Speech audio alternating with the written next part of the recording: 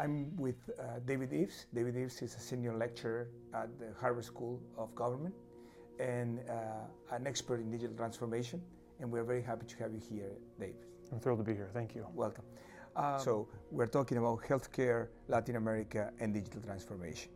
So, if you were to talk to the average uh, government official in the healthcare sector uh, and uh, to advise them to push digital transformation, what are the three points that you would uh, like them to remember most? Yes, I think the, the big mistake would be to invest in some large piece of software or system as a solution. As a solution, be like, yeah, we're going to build this. You know, we're going to spend $100 million. We're going to build some big solution that's going to work for forever. And there's a lot of evidence that suggests that those types of approaches are not particularly productive. Um, I, so that would be my first: is don't, don't do that. Don't go. Um, instead, I would want to be thinking about what is the kind of thinking about kind of digital infrastructure. What's the digital infrastructure that you want to guide the creation of the healthcare system?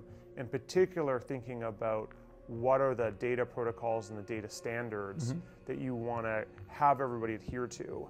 Um, I think there's too much permission is given to the the providers of kind of information systems in the healthcare space to kind of set their own protocols and then you kind of get vendor lock-in.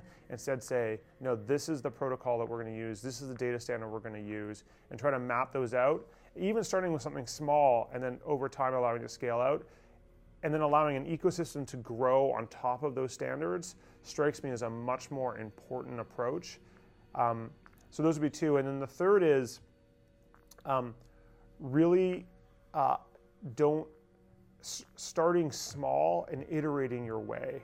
So, really figuring out what's the most important health crisis or health problem or health challenge in your country or in your community, and trying to think of ways that you can try to tackle that problem, but always with an eye to scale. So, can you solve relatively narrow problems, but scaling up, but in a way that allows you to kind of scale across problems or scale across sectors?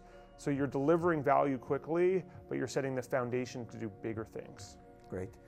David, we are very grateful for your time and for the conversation. We learn a lot, so that's, that's a great opportunity for us. Thank you very much for being Thank you so much for having me. Take care.